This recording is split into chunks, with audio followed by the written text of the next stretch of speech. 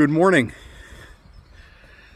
It is an absolutely gorgeous day here in northwest Montana, right? Holy cow. Okay.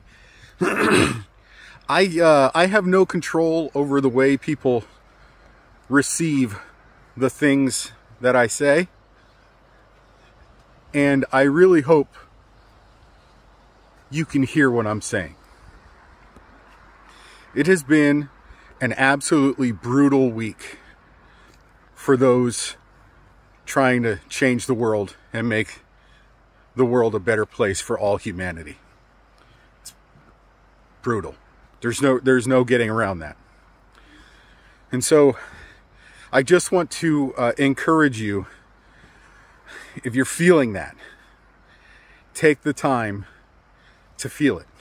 Take the time to acknowledge it and do what you can to get yourself healed up. And at the same time, I want to communicate this. Where I am in northwest Montana, yesterday the weather broke and winter lost its grip. Hear me. Yesterday, winter lost its grip. Spring was able to assert its dominance. And there will still be back and forth. There's still going to be cold days.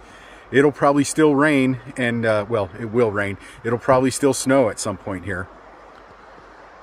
And there will be days that uh, aren't anywhere near as beautiful as this one. but winter lost its grip.